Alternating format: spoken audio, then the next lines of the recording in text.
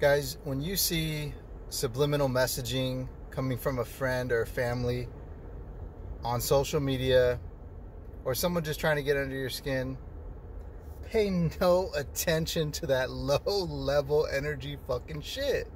Pay no attention to that shit. Don't let it even be a, a, a nanosecond of a thought in your mind and let it bother you at all. Let that fucking shit go. That low level energy shit is, you're way above that shit. Don't pay attention to that bullshit. It's just bullshit.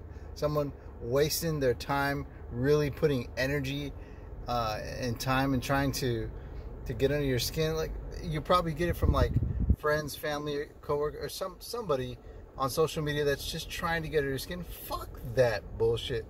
Don't give any ounce of energy to that shit at all.